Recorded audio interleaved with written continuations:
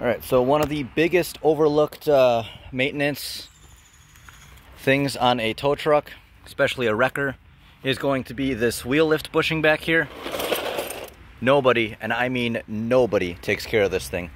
So over time, uh, there's actually two discs in this model, and as, as it moves and it gets used, they get thinner and thinner and thinner, and that bushing in there gets worn. So right now we have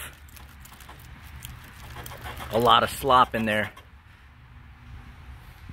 So some models you can actually uh, tighten up that bushing. There's uh, some pins and stuff that are adjustable. Um, but right now what I'm doing is I'm going to be cleaning all this up, uh, figuring out what I need to get for here, trying to look at the condition of all this stuff. And I've just used uh, PB Blaster, breaker bar, and a lot of heat to get these bolts free without actually busting them so that way I can drop this bottom block plate out, pop this bushing, which is uh, actually just welded to this giant thing, and there's this tab here so it don't spin. And uh, then we can see the condition of everything and I can pop it out and clean it and uh, make it functional again. Uh, one of the biggest indicators that this is worn out is when you're backing up to a vehicle and your wheel lift um, is, is wanting to like turn back and forth and you got to get out and readjust it and all that that pretty much means that this uh, wheel lift bushing is either too loose or worn out and it needs some attention. Um, also, on this particular style, something that people don't really know about is there is supposed to be this little ball detent feature that's supposed to keep it straight. It's kind of hard to see. Turn on the light here. This little uh, ball detent feature, you can kind of see it back there. We'll see it better when we pull it out. That's supposed to keep it straight it gets stuck and worn out and the spring gets all, you know, whatever over time. So it doesn't really work that well anymore. Um, so that's going to be another good thing to clean out and try to get going again. So I'm going to drop this out, pound that pin out, and uh, I'll try to get back to you when I get all this stuff apart.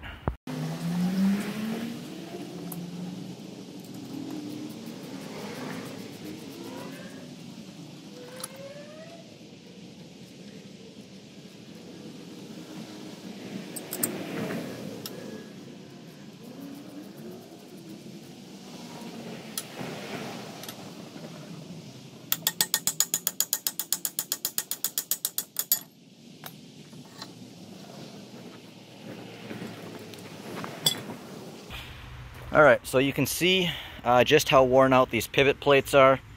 They have been on here forever, and I can guarantee you these are the original ones.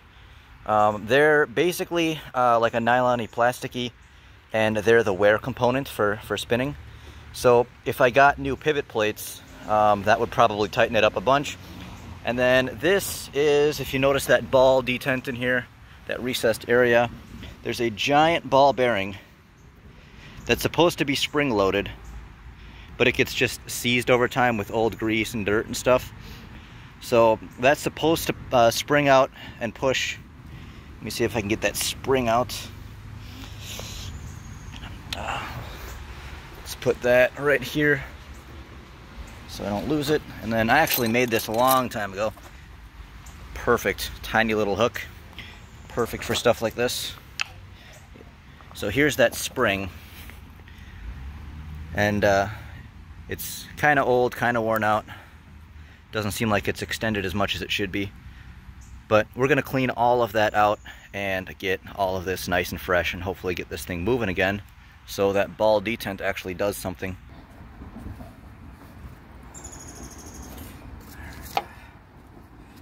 So I've got a couple different uh, wire wheels here. There is a bronze bushing in here also, and uh, that is going to be a little bit worn out. There is going to be some slop in there, so even if I do replace these, it's not going to be perfect. And then also, um, I've towed some really heavy stuff, and I'm sure this thing's been used and abused. So the arms on uh, this clamp, one of them's a little bit bent out, so I'll put it in the press, get it a little bit more together. So, what am I doing? Ah, yes. clean as much as I can off of this area so I can actually uh, get it clean and then put fresh grease in there. Because a lot of this old built up cake stuff is full of dirt and bad for it.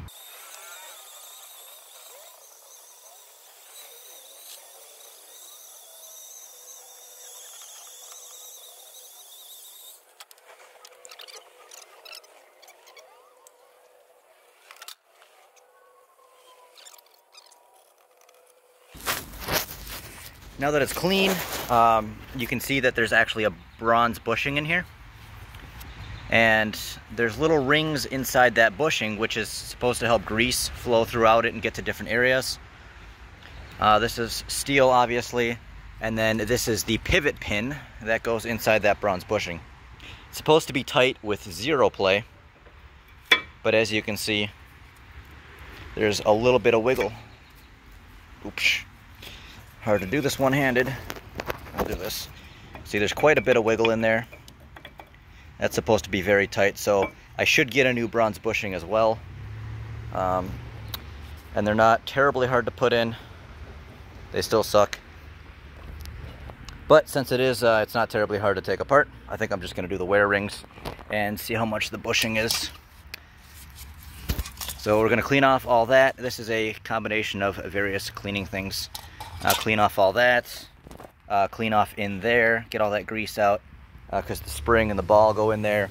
And the ball is supposed to push into here to try to keep it centered. Um, and it's spring loaded, so like if you back up to a car, it's supposed to keep it centered until it feels enough resistance that ball will kind of come in, come around, and you can actually like line up to the wheels and whatever. But, uh, all right. All right, um, it's gonna be a bad angle, but basically we got a grease fitting here. It's supposed to come out that port there, go around this groove, into the grooves in the bronze bushing, and uh, lubricate everything. So while you're here, you wanna actually put a grease gun on there, squeeze, and we can see that our grease fitting is functioning properly. So that is good. Sometimes they get clogged up or the the grease zerk uh, gets a little corroded and won't take grease anymore, but this one's fine.